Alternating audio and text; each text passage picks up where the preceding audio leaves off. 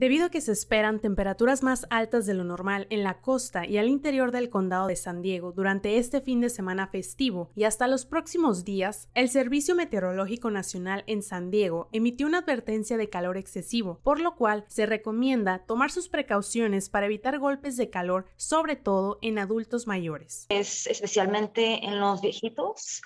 En esta temporada de calor, es un golpe de calor mientras tomes agua, mientras tomas tus sales, no estén cubiertos mucho. Es preferible que usen colores que reflejen el sol en vez de que lo absorben en su cuerpo. Aún estando en las últimas semanas de la época de verano, se esperan cambios extremos en las condiciones de temperatura. Vemos la utilización de electrodomésticos y otros aparatos muchísimo más durante esas temporadas. Las altas temperaturas ocasionaron también que se emitiera una alerta flex en todo el estado. Para ahorrar energía, especialmente durante este periodo de tiempo donde estamos bajo una alerta flex, es una llamada para conservar energía, pero particularmente durante las horas de 4 hasta las 9 de la tarde.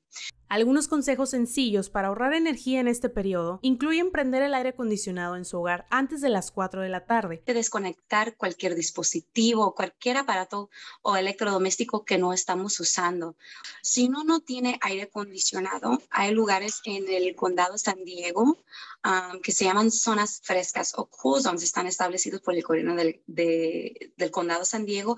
El Condado de San Diego ofrece diversos centros recreativos, bibliotecas y otros edificios públicos para que los habitantes de San Diego tengan acceso totalmente gratuito a un espacio con aire acondicionado y puedan resguardarse del calor. The Cool Zones are a county-wide initiative um, that to provide a cool space during heat emergencies for our older population, for people who are vulnerable, and really for people who just don't have air conditioning when it's so hot outside. Pues es un lugar donde puede uno aprender y aparte pues está uno fresco, salir de la casa, uh, irnos a las bibliotecas, o a un lugar donde esté fresco. Para más información, puede llamar al 211 o visitar el sitio web de coolzones.org para ubicar uno de los casi 100 espacios disponibles más cercano a usted. Para KZY Noticias, informó Elizabeth Vaca.